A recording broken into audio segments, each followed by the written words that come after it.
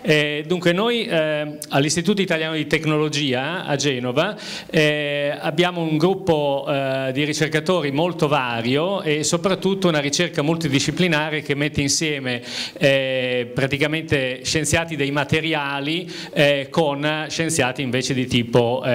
biologico e biomedico. E questo ha permesso di creare un prototipo di una nuova retina artificiale che ha delle caratteristiche abbastanza originali rispetto agli altri tentativi che vengono fatti in letteratura. Allora, eh, noi sappiamo che nella nostra retina eh, gli unici neuroni che sono sensibili alla luce sono i fotorecettori, i coni e i bastoncelli, quindi quando i fotorecettori vengono a degenerare eh, la, la retina appunto non è più sensibile alla luce. Allora, quali possono essere le due strategie per eh, ridare eh, eh, sensibilità alla luce quando ormai i fotorecettori sono persi. Eh, allora, si può o modificare geneticamente, come abbiamo sentito questa mattina, eh, il, eh, i neuroni della retina, in particolare utilizzando l'optogenetica che permette di eh, esprimere delle proteine eh, sensibili alla luce, simili alla rodopsina. Eh, però questo ovviamente implica una terapia genica. L'altra eh, possibilità invece è creare un'interfaccia dei neuroni retinici rimasti, una volta che i fotorecettori sono degenerati, creati con dei materiali intelligenti, le cosiddette smart materials, che siano intrinsecamente fotosensibili, che quindi svolgano il compito dei fotorecettori. L'idea è venuta eh, all'IT con il gruppo del professor Lanzani di Milano che ha come oggetto principale dello studio dei polimeri organici fotovoltaici che sostanzialmente danno la possibilità di creare delle celle solari, anziché basate sul silicio, quindi rigide come quelle che conosciamo, eh, invece delle celle solari estremamente sottili, flessibili, con cui potenzialmente uno potrebbe anche rivestire le pareti di un edificio. E questi polimeri eh, fotovoltaici messi tra due eh, elettrodi metallici, eh, una volta colpiti dalla luce, creano una separazione di cariche, un campo elettrico e quindi generano energia. E allora noi abbiamo pensato, tutto sommato, questi polimeri eh, funzionano non in maniera molto diversa dai nostri fotorecettori, cioè convertono i fotoni della luce in un segnale elettrico. E allora abbiamo provato a vedere se effettivamente il contatto di neuroni con questi polimeri potevano, eh, poteva essere in grado di attivare i neuroni. Qui vi fa vedere per esempio la struttura chimica del retinale che è il gruppo chimico sensibile alla luce dei nostri bastoncelli, dei nostri fotorecettori, eh, che è quello che si isomerizza quando arriva il fotone e diciamo, l'unità elementare del polimero organico P3HT che è un po' il capostipite di questi polimeri fotovoltaici. Vedete che c'è una certa somiglianza nella struttura. La prima cosa che abbiamo visto è se questi, eh, se questi polimeri, che qui non si vede quasi, eh, sono sostanzialmente compatibili, cioè non nuociono ai, ai, neuroni. E quello che abbiamo visto in laboratorio è che i neuroni possono crescere eh, tranquillamente su queste sostanze e anche la loro attività elettrica, che vedete qua, questi sono i segnali elettrici eh, che interessano i neuroni, sono perfettamente normali tra neuroni di controllo o i neuroni cresciuti su questi polimeri.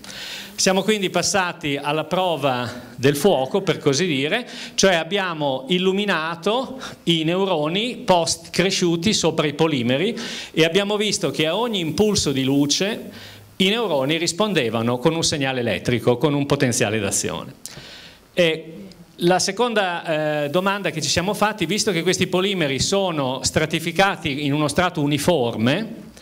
eh, eh, la sensibilità diciamo, spaziale, cioè la, la, risoluzione spaziale. Allora abbiamo eh, guardato il campo elettrico che si sviluppa quando la luce colpisce queste superfici polimeriche, eh, che tipo di ehm, diffusione spaziale aveva e abbiamo visto che ovviamente il campo elettrico è massimo dove arriva la luce, ma decade molto rapidamente, questi sono micron, quindi eh, millesimi di millimetro, decade molto rapidamente spostandosi al di fuori dello spot luminoso e questo lo si vede anche in un esempio biologico quando eh, questo è un neurone coltivato sui polimeri, il neurone si attiva solo quando lo spot luminoso è centrato sul suo corpo cellulare, ma se noi lo spostiamo di 20-30 micron eh, vedete che non è, eh, non è, più efficace, quindi si ha una notevole eh, risoluzione spaziale.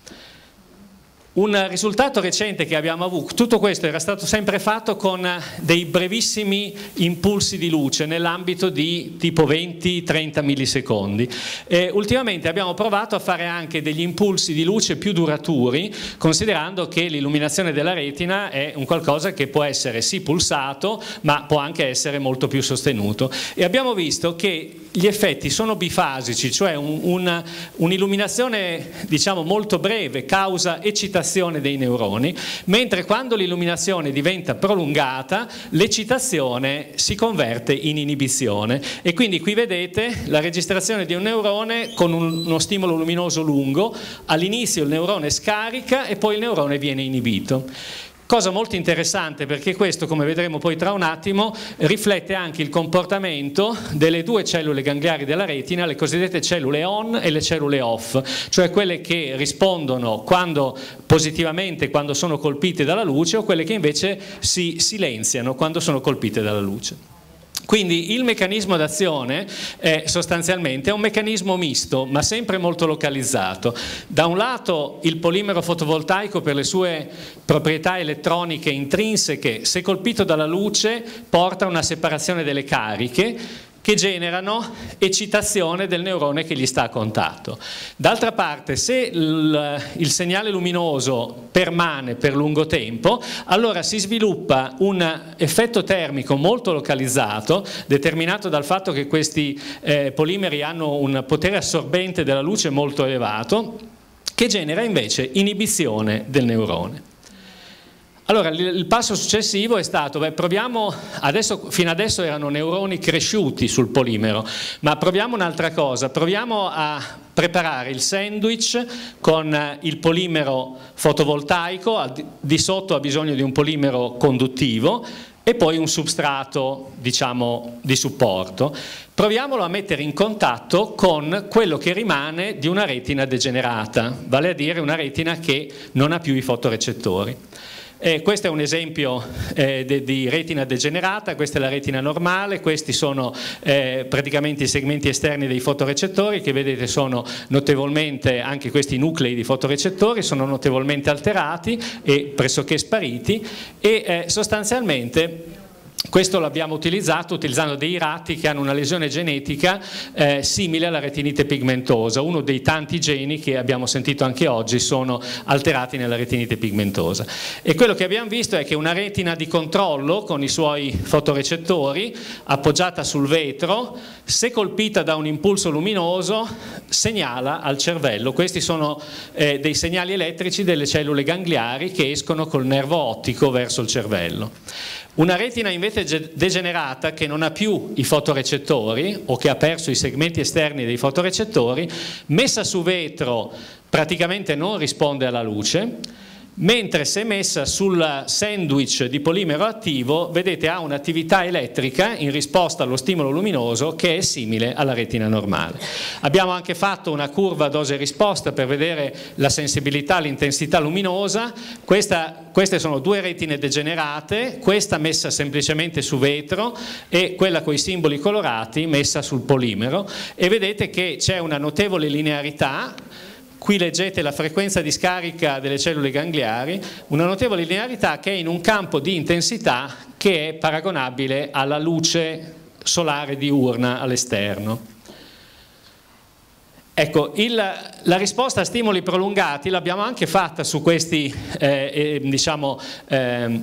espianti di retina degenerata e abbiamo ottenuto lo stesso risultato che nei neuroni, cioè in pratica quando lo stimolo luminoso è prolungato si ha un silenziamento delle cellule gangliari e quando la luce eh, viene praticamente, lo stimolo luminoso viene spento, si ha un rimbalzo di, di, attività di queste cellule, quindi un comportamento molto molto simile a quello che hanno le cellule gangliari della retina eh, di tipo off in risposta alla, allo stimolo luminoso. A questo punto eh, siamo passati alla fase successiva che era la sperimentazione in vivo e eh, di nuovo le due strategie eh, usate varie, eh, dai vari tentativi di retina artificiale sono sostanzialmente due. Una è la strategia epiretinica che abbiamo sentito per l'Argus 2 eh, in cui praticamente la retina artificiale che sia di tipo fotovoltaico, semplicemente una eh, matrice di elettrodi passivi come Argus 2 viene appoggiata alla uscita uscita della retina, cioè appoggiata sulle cellule gangliari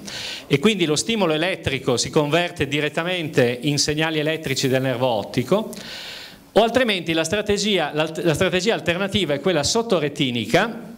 che è quella più utilizzata per le retine fotovoltaiche, in cui la retina, il dispositivo, sostituisce i fotorecettori che non ci sono più, cioè viene proprio anche messo nella stessa posizione dei fotorecettori che non ci sono più, perché in effetti ha la funzione dei fotorecettori, cioè convertire la luce in un segnale elettrico. Eh, e eh, chiaramente anche se eh, la chirurgia può essere più complicata, soprattutto se viene fatta dalla camera posteriore dell'occhio, il vantaggio di questo impianto sottoretinico è che può sfruttare la circuiteria della retina rimasta, eh, che eh, ovviamente non, eh, le altre cellule non sono eh, degenerate nella stessa misura dei fotorecettori, ma normalmente permangono. Queste sono appunto le reti inesistenti, abbiamo sentito dell'Argus 2 che è l'unica che è commercialmente disponibile con i marchi, marchio sia CE che eh, dell'FDA. Eh, Ve ne sono altre due in, in, studio che sono tutte e due questa volta fotovoltaiche, quindi condividono il principio con quella che stiamo studiando noi. Eh, una è la, la, retina di Tübingen, cosiddetta, del gruppo di Zrenner, è una retina che viene messa eh, eh, diciamo sottoretinica, eh, è una retina fotovoltaica in cui i fotodiodi che sentono la luce eh, eh, eccitano direttamente i neuroni retinici. Eh, la cosa interessante è che questa, eh, questa retina non ha bisogno di una telecamera, perché è fotosensibile intrinsecamente, tuttavia ha bisogno di un'alimentazione per alimentare gli elettrodi di stimolazione. Quindi eh, si è riusciti a evitare la telecamera ma rimane eh, l'alimentazione elettrica. C'è un'altra retina molto interessante sviluppata a Stanford dal gruppo di Palanker eh, che eh, adesso diciamo, si sta sviluppando a livello di technology transfer a, a Parigi, eh, alla Pixium e eh, questa retina macchina è, fatta, è sempre basata su dei eh, matrici di minuscoli fotodiodi individualmente legati a un elettrodo di stimolazione e la cosa innovativa di questa retina è che non ha bisogno di un'alimentazione classica, cioè di tipo eh, elettricità, ma viene alimentata e anche istruita da una radiazione infrarossa che viene dagli occhiali che il paziente deve, eh, deve portare. Quindi è una retina che ha bisogno di una telecamera, ma bisogno, è wireless, non ha bisogno di cavi che uniscono all'occhio. in cosa si differenzia la nostra, per quanto sia ancora lontana dalla, dalla, sperimentazione, noto che quella di Tübingen è già in fase 2 di sperimentazione in circa 13 eh, centri europei, eh, questa invece è ancora in una fase di sperimentazione in grossi animali. Eh, nel nostro caso la nostra retina organica ha alcune caratteristiche che se vengono dimostrate eh, potrebbero essere molto originali. Prima di tutto è un dispositivo completamente organico, cioè fatto della stessa materia di cui sono fatti i nostri tessuti, quindi intrinsecamente biocompatibile in secondo luogo eh, ha una risoluzione che abbiamo visto piuttosto elevata, eh, di qualche decina di micron, ma senza la necessità di avere dei pixel, cioè o degli elettrodi o dei fotodiodi che siano spazialmente distribuiti. Non ha bisogno di alimentazione di nessun genere, né infrarossa, wireless infrarossa, né eh, diciamo con i cavi, e non ha bisogno di camera esterna. Quindi è un dispositivo che funziona sulla base delle sue proprietà, diciamo di materiale intelligente, quindi senza eh, nessun'altra connessione con, con l'esterno. Abbiamo quindi iniziato a impiantarla nel modello appunto del ratto Royal College of Surgeon, ci sono tanti modelli sperimentali nel topo, ma il topo ha un occhio troppo piccolo per poter fare un'adeguata chirurgia. Eh, questa è una mutazione spontanea che è stata selezionata per incroci e quindi è un animale che ha eh, è molto simile anche al decorso fisiologico della retinite pigmentosa perché nascono vedenti e poi cominciano a diminuire le loro prestazioni visive verso i 2-3 mesi di vita per diventare poi eh, completamente non vedenti intorno ai 6-7 mesi di vita. Eh, tenete presente che un, un ratto vive circa due anni e mezzo, tre. Eh, per, come substrato Abbiamo scelto un substrato altamente biocompatibile che è la eh, fibroina della seta, è la, è la proteina principale eh, della seta che può essere cristallizzata in sottili strati e su, sulla quale possono venire depositati i nostri polimeri. In collaborazione con la professoressa Pertile del Don Calabria di Negrara abbiamo quindi iniziato a eh, fare la chirurgia su questi animali. L'impianto è un impianto eh, diciamo dall'esterno, cioè si fa una finestra nella sclera e si, come si vede qua e da questa finestra si inserisce questa superficie trapezoidale che è il, il nostro dispositivo pilota. Ecco, qui vedete la protesi sul fondo dell'occhio eh, che eh, appunto mediante la, la il laser scan, l'oftalmoscopio diciamo e questo è il, è il, prelievo autoptico che abbiamo fatto in cui si vede eh, la protesi che è stata posizionata eh, a livello tra la retina e l'epitelio pigmentato. Abbiamo fatto gli OCT in questi animali, ovviamente nel ratto l'OCT non ha una risoluzione come ce l'ha nella, nella retina umana ma vedete questa è la retina e eh, questa, questo, questa, banda delimitata da due strisce bianche è la nostra protesi che vedete è in contatto piuttosto stretto con la retina. Abbiamo anche fatto istologia per vedere se l'impianto generava un'infiammazione, abbiamo visto che eh, gli aspetti infiammatori che leggermente ci sono, non sono, sono es esclusivamente dovuti all'atto chirurgico eh, e infatti nella parte di retina che non è eh, diciamo, assolutamente toccata dalla chirurgia non c'è nessun tipo di alterazione infiammatoria vista con dei marker eh, opportuni. Il polimero rimane anche a lungo termine sulla superficie, questo è un esame fatto a quattro mesi dopo l'impianto e, eh, e inoltre eh, qui vediamo qualche cellula infiammatoria ma complessivamente non sembra che le cellule infiammatorie abbiano nessun tipo di eh, azione eh, negativa sulla superficie della, della protesi. E qui sono i risultati che abbiamo ottenuto intesi come recupero della sensibilità alla luce, e questa è la reazione pupillare, so, questi sono animali che quando eh, diventano ipovedenti non rispondono più alla luce con un eh, restringimento della pupilla. E, e qui vediamo che, eh, e qui vediamo appunto gli animali, ci sono vari grafici ma per non sto ad andare nel dettaglio, quello che è certo è che a intensità di luce anche ridotte in cui soltanto gli animali normali rispondono, gli animali ciechi impiantati sono in grado di sentire la luce eh, producendo la reazione pupillare. Eh, siamo andati oltre, eh, abbiamo registrato nella corteccia visiva primaria le risposte elettriche a stimoli luminosi, a flash luminosi e abbiamo visto che negli animali geneticamente ciechi non c'era nessuna significativa risposta corticale questa è la risposta degli animali vedenti e gli animali ciechi impiantati avevano una risposta consistente alla luce.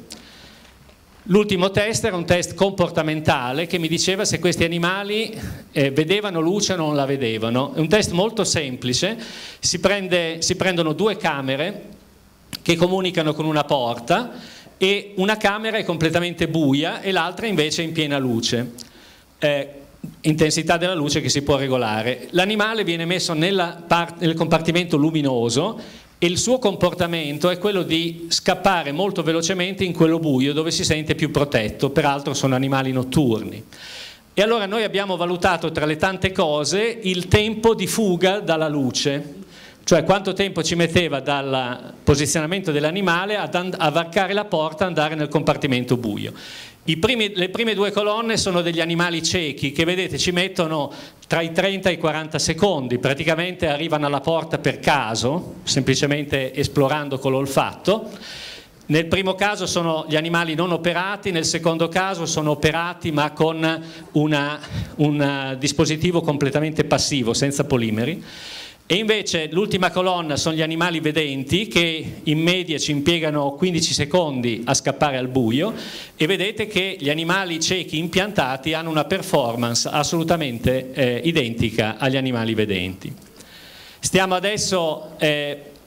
analizzando un parametro ancora più eh, diciamo, fine che è l'acuità visiva, eh, non vi posso ancora presentare dei risultati perché gli studi sono in atto e eh, comunque l'acuità visiva viene fatto mostrando, vedete, degli stimoli a barre di dimensione via via più fine e andando a registrare le risposte corticali. Questi sono animali che già di per sé non hanno una grande acuità visiva, circa 0,7 cicli per grado, eh, questi sono i vedenti albini, che sono il ceppo di animale che noi stiamo utilizzando, eh, quelli ciechi hanno un'acuità visiva che è tra 0,1 e 0,2 cicli per grado e quindi dobbiamo terminare lo studio per vedere se c'è un recupero anche della qualità dell'immagine, non solo della sensibilità alla luce.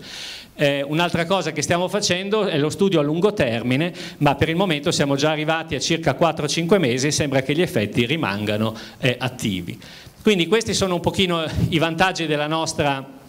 eh, della nostra eh, proposta, quindi una soluzione biomimetica eh, che è biocompatibile anche a lungo termine, funziona in maniera autonoma e eh, ha un'elevata risoluzione spaziale e relativa semplicità di impianto, sensibilità alla luce diurna e facilità di fabbricazione, quindi anche bassi costi di produzione. Eh, siamo adesso qua, nei ratti, il prossimo step è passare al maiale, che ha un occhio più grande ovviamente, siamo in collaborazione col Centro di Scienze Veterinarie dell'Università di Bologna, eh, dove stiamo pensando a vari tipi di approcci chirurgici, probabilmente manterremo almeno inizialmente il discorso transsclerale, Stiamo passando come substrato dalla seta al PET per avere diciamo, una maggiore maneggevolezza chirurgica e una maggiore costanza nella, negli spessori e nei risultati. Tra l'altro il PET è già stato ampiamente approvato per protesi umane, ad esempio le protesi vascolari, quindi è un materiale assolutamente eh, ben tollerato e stiamo facendo appunto eh, eh, la, la, il diciamo, modello 3D dell'occhio del maiale e stiamo disegnando con il laser la, eh, la forma migliore per impiantarlo a livello maculare e il PET l'abbiamo già provato nel ratto e sembra avere un'ottima biocompatibilità, vedete lo strato di polimero rimane, questo è, è dopo due mesi dall'impianto, quindi diciamo si comporta molto bene in maniera analoga alla seta, quindi non ha una reazione maggiore e quindi sembra essere un valido supporto per i prossimi studi. Prossimi studi che appunto eh, verranno fatti nella attrezzatissima sala operatoria eh, della veterinaria di Bologna e saranno seguiti da eh, studio sia mediante elettroretinogramma che, che studiando il comportamento eh, degli animali per vedere appunto la capacità di risoluzione spaziale. Bene, io con questo ho finito, eh, eh, vi, vi, cito e ringrazio i gruppi. Eh, grazie. Eh, il mio gruppo all'IT di Genova, il gruppo del professor Lanzani al centro dell'IT di Milano, al Politecnico di Milano e il contributo importantissimo di Grazia Pertile e Maurizio Mete dell'ospedale Don Calabria, Silvia Bisti dell'Università dell'Aquila e appunto più di recente il gruppo di Maria Laura Bacci alla veterinaria di Bologna. Grazie. Ringrazio molto il professor Benfernati per questo affascinante percorso questa retina fotovoltaica